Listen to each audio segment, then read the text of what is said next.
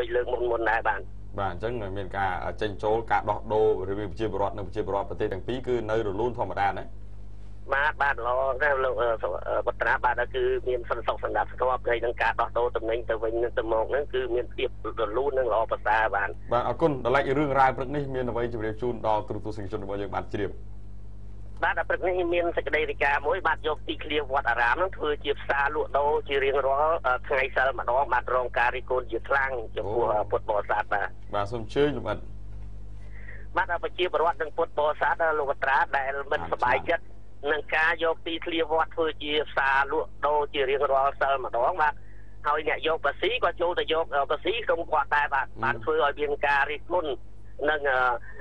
នឹងមិនសប្បាយចិត្តចំពោះគណៈកម្មការអាចារ្យវត្តនិងអ្នកយកបស៊ីនោះអង្គបាទហើយ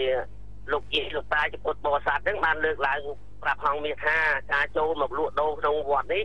មួយសិលម្ដងអង្គួរតែអ្នកយកបស៊ីកុំយកបស៊ីទុកឲ្យ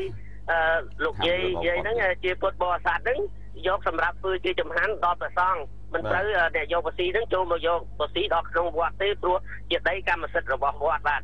ហើយចំណែកលោកជាសរឹមហៅចាក់ចៃហ្នឹងមកចាក់ផ្សារបឹងរាំងជាអ្នកយកបស៊ីហ្នឹងបានឲ្យដឹងថាលោកបានចូលទៅយកបស៊ីដល់ក្នុងវត្តរកាសង្កាត់អម៉ាល់នោះមែនព្រោះអ្នកលក់ដូរទាំងនោះធ្លាប់លក់ដូរនៅក្នុងផ្សាររបស់លោកបើលោកមិនទៅយកបានធ្វើឲ្យបាត់ចំណូលរបស់លោកលោកមានលុយឯណាដើម្បីឡើងទៅឲ្យចៅសង្កាត់ទៅបានបាទឲ្យ ហើយលោកបានប្រាប់ថាគឺយកតែមួយកន្លែងហ្នឹងតម្លៃតែ200រៀលប៉ុណ្ណោះហើយលក់នៅក្នុងវត្តហ្នឹងគឺប្រមូលបានលុយទាំងអស់តែ5000ទេក្នុងមួយព្រឹកមិនចង់រួចលុយសាងផងប៉ុន្តែលោកថាបើមិនយកទេអ្នកលក់ដូរហ្នឹងគឺมันដាច់ទៅវិញ បាទមើលទស្សនភាពលក់ដូរនៅក្នុងវត្តហើយខាងលោកវស៊ីលោកចូលទៅយកក្នុងវស៊ីក្នុងវត្តបន្តទៀតតើសុំចុះសាស្ត្រទៅយ៉ាងម៉េចឬយើងមិនបាទក្រុមការងារបច្ចេកទេសនឹងព្យាយាមភ្ជាប់ប៉ុន្តែពាក់ព័ន្ធទៅនឹងបញ្ហានេះពេលខ្លះបើសិនជាការលក់ដូរនោះត្រឹមតែជាការលក់ដូរពាក់ព័ន្ធនឹងចង្ហាន់ចេកផ្កាសគុណធវេរីអញ្ចឹងណាបាទអានឹងដូចជាមិនចោតជាបញ្ហាទេ ប៉ុន្តែការលក់ដូរមួយចំនួន ពេលខ្លះជាអាជីវករនៅក្នុងផ្សារក៏គួរយោគយល់ដល់អ្នកដែលអ្នកគ្រប់គ្រងផ្សារដែរពីព្រោះបើនាំគ្នាមកលក់នៅអស់សួរថាតើខាងគេនោះបានចំណូលអីដែលត្រូវយកទៅបង់ឲ្យថ្នាក់លើបន្តទៀតពីព្រោះគេដេញថ្លៃផ្សារមិញគឺ ចឡោឋានអត់មានអ្នកលក់របស់ពេញកណ្ដៅអស់ក៏ប៉ុន្តែអ្នកគ្រប់គ្រងផ្សារអ្នកយកផាស៊ីក៏ត្រូវយកផាស៊ីមួយនៅក្នុងក្របខ័ណ្ឌដែលអាចជជែកគ្នាបានដែរមានន័យថាកុំហួសហេតុពេកឬក៏កុំប្រើពាក្យសម្ដីណាដែលមិនសមគួរឥឡូវយើងជួបលោកកាំងរីម្ដងទៀតមើលថាតើរឿងនេះវាយ៉ាងម៉េចតទៀតបាទបាទសារថ្មីសូមអញ្ជើញបន្តទៀតលោកកាំងរីបាទ បាទលោកបត្រាបាទពាក់ព័ន្ធនឹងបញ្ហានេះដែរលោកប្រធានមន្ត្រីធម្មការនិងសាសនាខេត្តលោកបានឲ្យអង្គមានដឹងតាមទូរស័ព្ទថាលោកមិនបានដឹងថាមានអ្នកលក់ដូរនៅក្នុងវត្តនោះទេហើយក៏គ្មានច្បាប់អនុញ្ញាតណាឲ្យចូលទៅលក់ដូរនៅក្នុងវត្តដែរបាទហើយចំណែកអ្នកយកបស៊ីក៏មិនត្រូវទៅយកបស៊ីនៅក្នុងនៅក្នុងវត្តដែរព្រោះដីវត្តហ្នឹងគឺជាកម្មសិទ្ធិរបស់ព្រះសង្ឃទេបាទហើយសូមបញ្ជាក់ផងដែរមជ្ឈដ្ឋានជាច្រើនរបស់ប្រជាពលរដ្ឋនិងពុទ្ធបរិស័ទណាមិនសប្បាយចិត្ត ឡើយបាទចំពោះអ្នកយកបស៊ីនិងនិងអ្នកដែលអនុញ្ញាតឲ្យមានការលក់ដូរនៅក្នុងវត្តបាទព្រោះលោកសក្ខៈដឹងហើយបាទក្នុងវត្តជាទីកន្លែងស្ងប់ស្ងាត់សម្រាប់ព្រះសង្ឃនិងជាទីកន្លែងសក្ការៈរូបបូជារបស់ពុទ្ធបរិស័ទហើយការដាក់លក់ដូរហ្នឹងលោកសក្ខៈឃើញមានតំណែងមានខោលីអូមានអីស្អីតំណែងដែលមិនសមបាមើលទៅវាមិនគួរបាទហើយតែដាក់លក់ហ្នឹងគឺក្រឹកក្រែងហើយក្នុងផ្សារដោយលោកសក្ខៈដឹងហើយតែងតែប្រកែកជួបគ្នា ជាជាញឹកញាប់បានធ្វើឲ្យប៉ះពាល់វល់និងជាអតិពលដល់ពុទ្ធសាសនាហើយប្រជាពលរដ្ឋទាំងអស់សំណុំពរថាគួរតែកុំឲ្យមានការលក់ដូរនៅក្នុងវត្តសូមឲ្យអាជ្ញាធរនឹងចិត្តគូរកកន្លែងណាឲ្យប្រជាពលរដ្ឋនឹងលក់ដូរទៅហើយចំណែកផ្សារបឹងរាំងដោយលោកសខៈឃើញក្នុងរូបភាពគឺអត់ទៅមានមនុស្សទៅលក់ទេបាទគឺចេញពីក្នុងផ្សារអស់ហើយបាទចិត្តចិត្តវត្តដែរលោកកាំងរីនោះផ្សារហ្នឹងចិត្តវត្តដែរហៅឡូបាទផ្សារហ្នឹងនៅចិត្តវត្តដែរណា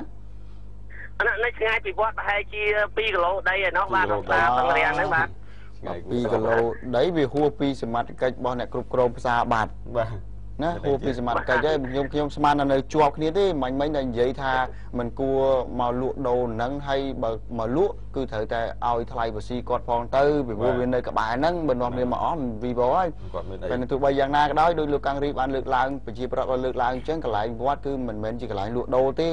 ខ្ញុំអាចចាត់ទុកថាជាកន្លែងលក់ដូរបានត្រឹមតែ មានន័យថាលក់ផ្កាម្លិះលក់ចេកសម្រាប់លោកយាយលោកតាលក់បង្អែមលក់ចង្ហាន់អញ្ចឹងណាហ្នឹងហើយគ្រឿងគ្រឿងហ្នឹងគ្រឿងថ្ងៃសិលថ្ងៃទៀនហ្នឹងបាទអរគុណច្រើនលោកកឹងរីបាទជំរាបលាលោកបត្រាលោកសុខាបាទបាទបាទជំរាបលាលោកកឹងរីអញ្ចឹងដូចជារឿងករណីលើកមុនម្ដងអារឿងលក់អញ្ជៀនពេជ្រគ្រឿងអលង្ការក្នុងពហិក្នុងស្រីណាស្តៀងគ្នានឹងសិមរៀបនៅក្នុងវត្តក្បាលថ្មគេហៅវត្តថ្មីបាទអញ្ចឹង ខាងប្រសង់លោកជាពិសេសគឺប្រជាពលរដ្ឋលោកបានរិះគន់នៅក្នុងបរិយ8ហ្នឹងទៅស៊ីរៀបដែរលោករិះគន់ថាហេតុអីបានយកគ្រឿងអលង្ការរបស់របរ សម្រាប់យកទៅលក់នៅក្នុងព្រះវិហារព្រះវិហារគឺជាកន្លែងគេតម្កល់សក្ការៈបូជាសម្រាប់ពុទ្ធសាសនាសម្រាប់ជនប្រជាជាតិខ្មែររបស់យើងឬក៏ជនបរទេសណាគាត់ឡើងទៅគោរពថ្វាយបូជាតែពេលគាត់យកគ្រឿងអលង្ការប្រហែលជា10តួជាងយកទៅដាក់លក់នៅលើព្រះវិហារដូចជាពេកហើយបើសិនជាលក់នៅក្រៅព្រះវិហារហ្នឹងវាជារឿងមួយដ៏ល្អប្រសើរដែរព្រោះថាយើងចង់រំលឹកអំពី ការលក់ដូរដល់ភ្ញៀវជាតិនិងអន្តរជាតិអញ្ចឹងណាដល់ពេលលក់លើព្រះវិហារប្រជាពលរដ្ឋលោករិះគន់ហ្មងថាហេតុអីបានជាអញ្ចឹងបញ្ហាវានៅតែមានបន្តបន្ទាប់អរគុណឥឡូវជួបលោកពិសិដ្ឋវិញម្ដងដែលប្រចាំការនៅខេត្តស្វាយរៀងនិងព្រៃវែងជំរាបសួរលោកពិសិដ្ឋ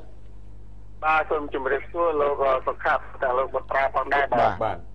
លោកពិសិដ្ឋនៅព្រៃវែងឬស្វាយរៀងឥឡូវហ្នឹងបាទពេលនេះខ្ញុំកំពុងតែឈរជើងនៅខេត្តព្រៃវែងណាបាទអរគុណឥឡូវមានរឿងអីរាយការណ៍ពីព្រៃវែងមក បាទនៅព្រឹកនេះគឺមានព័ត៌មានមួយគឺអញ្ញាធរខេត្តព្រៃវែងដឹកនាំលោកគ្រូអ្នកគ្រូសាស្ត្រានុសិស្សចូលរួមដាំដើមឈើឡើងវិញដើម្បីជាការលើកសម្រាប់ឲ្យឋានសោភ័ណភាពក្នុងក្រុងក៏ដូចជាដើម្បីបន្សល់ទុកនៅប្រភេទកូនឈើបរិញកម្រកម្រមួយចំនួនទុកឲ្យកូនចៅចំនួនក្រោយបានឃើញនិងបានស្គាល់បាទបាទឈើស្អីខ្លះដែលដាំកន្លងទៅហ្នឹងលោកពិសិដ្ឋ បាទកូនឈើដែលដាក់ដាំកន្លងទៅនេះគឺមានប្រភេទក្នុងបេងកញូងនិងនួនបាទសរុបប្រមាណជា700ដើមឯនោះហើយការដាំនេះគឺដាំនៅក្នុងបរិវេណសាលាផងបាទដាំនៅតាមដងផ្លូវនានាក្នុងក្រុងព្រៃវែងផងបាទតែមានការចូលរួមពីវិជាបរិបប្រមាណជាង200នាក់បាទ ហើយតាមការដឹងទីឯដាំស្ដងសម្រាប់អភិបាលប្រធានក្រុមប្រឹក្សាខេត្តព្រៃវែងលោកបានបញ្ជាក់ថាខេត្តព្រៃវែងនេះដោយសារតែដាក់ឈ្មោះខេត្តព្រៃវែងដែលកាលពីមុនគឺសម្បូរព្រៃដុះវែងជាប់គ្នាតែឥឡូវនេះខេត្តព្រៃវែងអត់មានព្រៃទេតែជាវាលវែងទៅហើយបាទដូច្នេះហើយដើម្បីឲ្យទៅឈ្មោះខេត្តព្រៃវែងប្រជាពលរដ្ឋក៏ដូចជាអាជ្ញាធរដែទាំងអស់ទៅចូលរួមមកគ្នាបានដើមឈើឡើងវិញឲ្យបានតាម ដើម្បីជាការផ្ដល់ជំរឿមកលុបតិចដល់កូនចៅផងដើម្បីទៅវិជាសពតភាពផងនិងដើម្បីទាញការទឹកគ្លៀងផលជាពិសេសគឺបន្សល់ទុកនៅដើមឈើកម្រកម្រទាំងនេះបាទដើម្បីឲ្យកូនចៅចំនួនក្រោយបានឃើញនិងបានដឹងបាទ បាទអរគុណច្រើនមានអីថែមទៀតបាទលោកលោកសកាក៏សូមបញ្ជាក់ផងដែរបាទអំបញ្ញមិញនេះខ្ញុំទើបតែទទួលបានព័ត៌មានពីប្រជាពលរដ្ឋបានរាយការណ៍មកថានៅអាទីប្រជុំជនអ្នកលើនេះមានយុវជនម្នាក់បានចងកសម្រាប់ខ្លួនទៀតហើយបាទបើមកពីមូលហេតុទេណាបាទខ្ញុំកំពុងតែទៅផ្សព្វយករូបភាពនេះដើម្បីផ្សព្វផ្សាយជូនប្រជាពលរដ្ឋប្រជាជនយើងតទៅទៀតបាទអញ្ចឹងអញ្ចឹងអរគុណអញ្ជើញបើកុំភ្លេចចាក់សាំងឡានផងណាជំរាបលាលោកពិសិដ្ឋ បាទអរគុណគុណជំរាបលាបាទបញ្ញាពេកជួនកាលអាចគុណគាត់នៅជាកាតជាសញ្ញារំលឹកនេះមិននៅគាត់នៅចូលជើងនៅស្វាយរៀងព្រៃវែងព្រៃវែងព្រៃវែងគាត់នៅឆ្ងាយពីអ្នកលឿងអ្នកលឿងសាឡាងឡៃសាឡាងយើងឆ្លងណាណាឆ្លងទៅត្រូវលិចទៅត្រូវកើចឹងទៅបាទអរគុណច្រើនហើយដាំដើមឈើក៏ដាំចោះវាគឺជារឿងល្អហើយប៉ុន្តែដាក់ផ្សេងធម្មតាបាទតែប្រហែលថ្ងៃកន្លងមកគឺលេខកតុំហើយជឿលៀងរែកបាយហ្នឹងអាប់អ៊ូអាប់អ៊ូបន្តិចណា ហើយការបង្កបង្កើតផលអីធម្មតាណាបាទប្រជាពលរដ្ឋលោក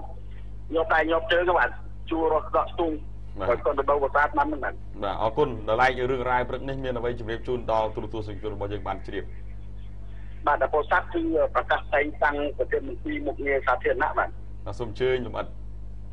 បាទដល់លោកលៀមប៊ុនរឿនបាទត្រូវបានតែតែងតាំងជាប្រធានមន្ត្រីមុខងារសាធារណៈខេត្តពោធិ៍សាត់បាទដែល លោកជាអតីតអនុប្រធានមន្ត្រី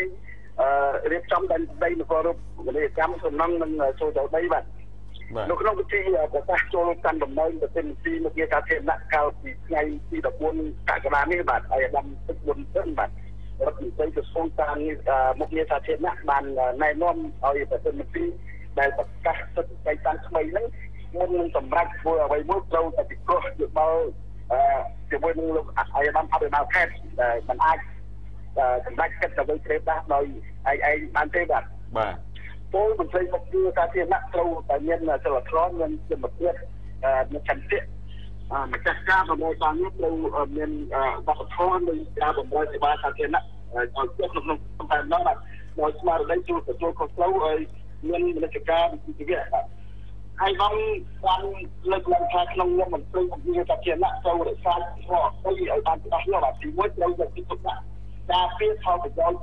សាធារណៈហើយជាប្រយោជន៍ប្រទេសយើងទាំងមូលនិងសង្គមបាទបាទទីពីរគឺអភិផលប្រយោជន៍មន្ត្រីស្ថាប័នបន្តិចមិនត្រូវធ្វើឲ្យប៉ះពាល់ខូចប្រយោជន៍អឺស្ថាប័ននោះឡើយបាទបាទទី3ត្រូវខិតខំពួកវាធ្វើឲ្យឲ្យបានការពារផលប្រយោជន៍មន្ត្រីរាជការបាទបាទ ខ្ញុំនោះលោកលៀមមុនរឿនបាទដែលបានតែងតាំងនេះមកគ្រប់លោកបានឡើងប្រាជ្ញាចិត្តថានឹងស្មោះត្រង់ជានិច្ចចំពោះជាតិសាសនាសេនាសត្វអឺសរុបរដ្ឋធម្មនុញ្ញនិងអនុវត្តយុទ្ធសាស្ត្រចក្រចរដំណាក់កាលទី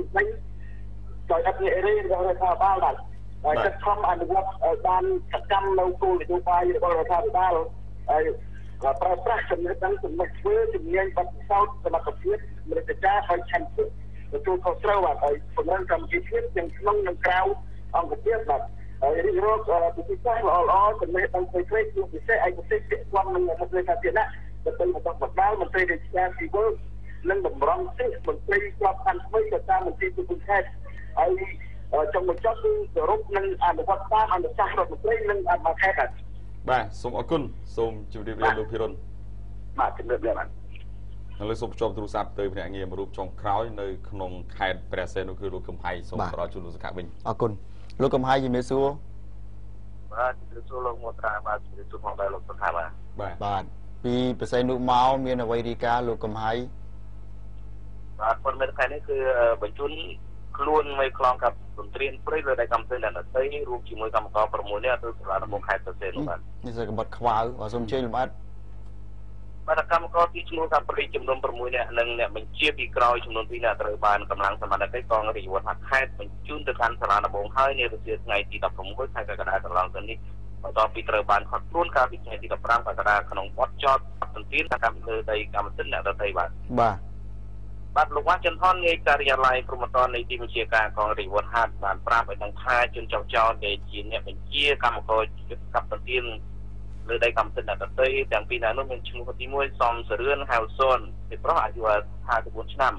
មុខរបរជាអ្នកងារកសាជាជំនះ7មករាបាទមានទីនៅភូមិស្រែក្នុងឃុំបឹងតព្រំស្រុកព្រៃនំខេត្តព្រះសីហនុនិងទី2ឈ្មោះសំសរឿនភេទប្រុសអាយុ42ឆ្នាំមុខរបរជាភ្នាក់ងារកសាជាជំនះ7មករាដូចគ្នាមានទីលនៅភូពោដោះឃុំបឹងនិមិត្តស្រុកឈូកខេត្តកំពតហើយកម្មករទីឈ្នួលកាប់ព្រៃឲ្យជនទាំងទាំងពីរនាក់នោះមាន ចំនួន6នាក់នឹងត្រូវបញ្ជូនទៅកាន់សាលាដំបងដែរបាទប្រពន្ធដដែលបានបន្តថាការខាត់ខ្លួននេះបានធ្វើឡើងបន្ទាប់ពីមានពាក្យបណ្ដឹងរបស់លោកអង្គញាលឹមហ៊ុយលេងដែលជាម្ចាស់កម្មសិទ្ធិថាមានមនុស្សចំនួន8នាក់បាននឹងកំពុងកាប់ទន្ទ្រានលើដីរបស់លោកអង្គញានៅចំណុចភូមិស្មាច់ដែកឃុំរៀមស្រុកព្រៃនំខេត្តប្រទេសនោះពួកគេបានអាងថាជាដីដែលបានឈ្នះក្តីពីតុលាការ បាទបាទជុំវិញបញ្ហានេះដែរលោកលិនសរិនមេឃុំរៀមស្រុកព្រៃនោះបានបញ្ជាក់ថាចំពោះទីតាំងដីដំណោះមួយនេះគឺជាដីរបស់លោកអង្ញាលមួយលេងដែលសល់ពីធ្វើអំណោយទៅឲ្យមជ្ឈមណ្ឌលកម្មាកំព្រាហើយឈ្មោះទាំងពីរខាងលើនេះពុំមានដីនៅចំណុចនេះទេចំពោះដីដែលបានឈ្នះក្តីនោះនៅគឺនៅមិនឆ្ងាយពីកន្លែងនោះទេបាទបាទអរគុណច្រើនសូមបញ្ចប់បានបាទសូមអរគុណជំរាបលាលោកកំហៃ សូមអនុញ្ញាតបញ្ចប់ហើយជូនទៅលោកបត្រាបាទសូមជើងក្រោយនេះគឺមានមួយបងប្រុសដែលជាពុករបស់បងអូនស្រីដែលបានបាត់ខ្លួនគាត់សុំមកស្ថានីយ៍តែប្រហែល3 4ថ្ងៃហើយហើយទៅវិញទៅមិនឃើញឯកសារទៅមិនឃើញឥឡូវគាត់អឺស្នើសុំមកជួយផ្សព្វផ្សាយទៅដល់បងបងប្អូនដែលបានបាត់ខ្លួននេះបងអូនស្រីឈ្មោះថាផនលៀងហ៊ុនបាទអាយុ18ឆ្នាំបាទកម្ពស់1.55ម៉ែត្រសបស្អែមនោះគាត់បានបាត់ពីផ្ទះ តាំងពីថ្ងៃទី11ខែ7ខែសីហានខែកក្កដាហ្នឹង2014វេលាម៉ោង5ល្ងាចបានចេញពីផ្ទះជួលនៅភូមិតាពាំងឈូកឃុំទឹកសង្កាត់ទឹកថ្លាបាទស្រុកខណ្ឌសែនសុខបាទក្រុងភ្នំពេញបានជិះម៉ូតូឌុបម៉ាក Smart Wave ពណ៌ខ្មៅនេះបំណងទៅកាន់ផ្សារតូចដើម្បីជិះឡានត្រឡប់ទៅផ្ទះវិញហើយទៅភ្ជាប់នឹងខ្លួននោះគឺមានខ្សែកនឹងមួយខ្សែ ផ្លាទីនហើយទូរស័ព្ទ Samsung ពណ៌សមួយគ្រឿងមានអត្តសញ្ញាណប័ណ្ណនិងសភៅគ្រួសារលុយជាប់នឹងខ្លួននឹង150ដុល្លារបើកឲ្យថ្មីថ្មីហ្នឹងណាថាត្រឡប់ទៅផ្ទះវិញក្រុមគ្រួសារហ្នឹងគឺគាត់មានគ្រួសារហើយមានប្តីមានអីហើយដល់គាត់ថាបើកតាមមកធ្វើការតាមមួយខែទៅចុះឲ្យត្រឡប់ទៅផ្ទះវិញទៅនៅផ្ទះធ្វើប្រកបរបរខ្សែចំការអញ្ចឹងទៅដល់ពេលដល់ឲ្យចេញមកក្បាលល្ងាចស្អាតទៅបាត់ឈឹងមិនទៅដល់ណា អត់ដឹងទៅដល់ណាសិនបងប្អូនស្រីបានលឺហើយសូមត្រឡប់ទៅផ្ទះផងព្រោះថាក្រុមគ្រួសារនឹងកំពុងតែព្រួយបារម្ភទៅលើប្អូនជាពិសេសហ្នឹងគឺបញ្ហាសុខភាពត្មងមិនដឹងថាប្អូនទៅដល់ទីណាទេព្រោះទូរស័ព្ទក៏ទេអត់ចូលស្អីក៏អត់ចូលអញ្ចឹងទេបើសិនជាបងប្អូនអឺដែលប្រទះឃើញពិនភាកស្លាកស្នាមដោយបានបង្ហាញរូបភាពនៅលើកញ្ចក់ទូរទស្សន៍នេះសូមតាក់ទងមកតាមទូរស័ព្ទ089 70 33 22 011 បាទ378 578បាទនៅមួយខ្សែទៀតគឺ088 95 11 839បានអញ្ចឹងទេគាត់ពុកហ្នឹងគឺឈ្មោះថាហេងភៀនជាពុកម្ដាយឈ្មោះថាជេងយឺជាជេងយឺកំពុងតែព្រួយបារម្ភព្រោះថាកូននឹងបានបាត់ពីផ្ទះតាំងពីថ្ងៃទី11ដល់ខែ7នោះ អញ្ចឹងទេបើសិនជាប្អូនស្រីបានដឹងបានដំណឹងហើយសូមទូរស័ព្ទទៅក្រុមគ្រួសារឲ្យប្រាប់ថាប្អូននឹងមិនអីទេអញ្ចឹងកុំឲ្យក្រុមគ្រួសារគាត់មានការព្រួយបារម្ភហើយសូមត្រឡប់ទៅផ្ទះវិញផងពីព្រោះថាលោកឪពុកនឹងគឺកំពុងតែព្រួយបារម្ភជាមួយនឹងអ្នកម្ដាយណាបើសិនជាបងប្អូនបានឃើញសូមជួយទូរស័ព្ទតាក់ទងតាមដែលរៀបរាប់ទៅខាងលើឬក៏អាចមកតាក់ទងនៅខាងស្ថានីយ៍ទូរទស្សន៍ហងមី HD TV របស់យើងក៏បានដែរបាទបាទ